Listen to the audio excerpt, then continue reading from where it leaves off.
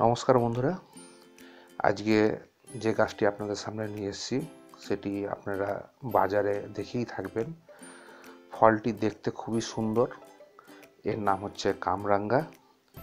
Video শুরু করার আগে আমার পরিচয় দিয়ে দিই। আমি হচ্ছে অনুপম এবং আপনারা দেখছেন বাগান পালবাবু। এই ফল গাছটি খুবই পরিচিত একটি গাছ। আমাদের পশ্চিমবঙ্গের সর্বত্র এই কামরাঙ্গা ফলটি পাওয়া যায়। বিশেষ করে এটি তরকারির কাজে ব্যবহার না হলেও কিন্তু মানুষ চাটনি করার জন্য এটি ব্যবহার করে থাকে।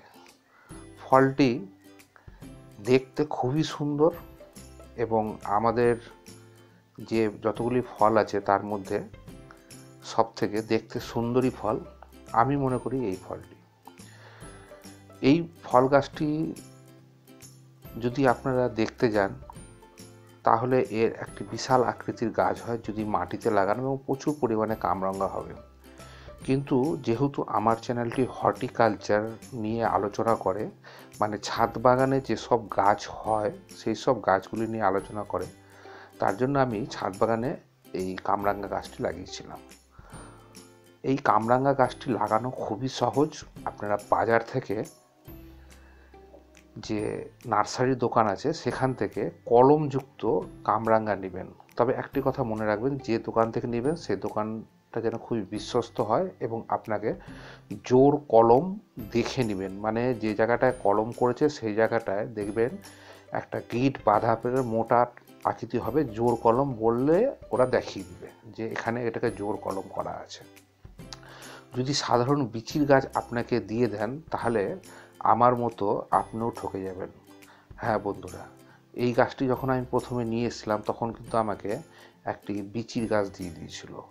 তো গাছটি দীর্ঘদিন ধরে আমি রেখেছিলাম, প্রায় বছর তিনেকের ওপরে।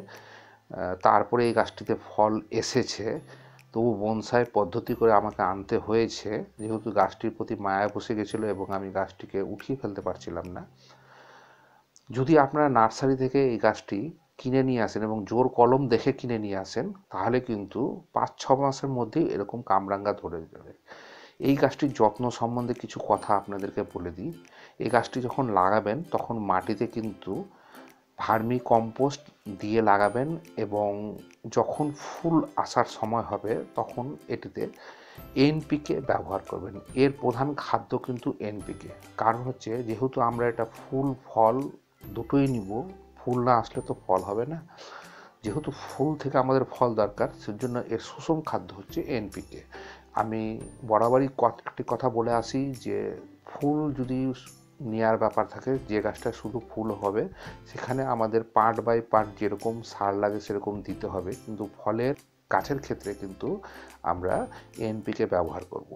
এনপিকে থেকে আরেকটি শক্তিশালী এর সুষম খাদ্য হচ্ছে ডিএপি এই নামটি নিশ্চয়ই আপনারা শুনে হবেন, কিন্তু ডিএপি যদি ব্যবহার করেন, তবে তার দানা খুবই কম। এই গাছটিতে কমসে কম পঁচিশটা, কুড়ি পঁচিশটা দানা যদি আপনার বড় টব হয়ে থাকে, তাহলে ডিএপি দিবেন। অ্যাকচুয়ালি ডিএপি কিন্তু স্প্রে করতে হয়। আপনারা যদি স্প্রে করে দেন, তাহলে আরও ভালো। ডিএপি স্প্রে করলে দুরকম জিনিস হবে। ডিএপিতে কিছু রাসায়নিক পদার্থ থাকে যেগুলো আমাদের কীট পতঙ্গকে আক্রমণ থেকে রক্ষা করবে। এই গাছটিতে সেরকমভাবে কোনো রোগ লাগে না, কিন্তু তবু এই গাছটিতে আমাদের কিছু প্রোটেকশন নিয়ে রাখতে হবে। যেমন নিম তেল। আমি কিন্তু প্রত্যেকটা গাছে সারা বছরই নিম তেল দিয়ে থাকি। এই নিম তেল কিন্তু খুব একটি কার্যকরী ওষুধ আমাদের ছাদ বাগানের ক্ষেত্রে। আর এই গাছটি জল পরিমাণ মতো দিতে হবে, বেশি জল দিবেন না। পনেরো দিন অন্তর অন্তর এই গাছটিতে ডিএপি বা এনপিকে ব্যবহার করবেন। এনপিকে ব্যবহার করার ক্ষেত্রে নিয়মটা বলে দিই, হাফ চা চামচ গাছের টবের চতুর্দিকে দিবেন, তাহলেই আপনার ভালো কাজ করবে। বেশি ডিএপি বা এনপিকে ব্যবহার করলে কিন্তু আমাদের গাছ অবশ্যই মারা যেতে পারে।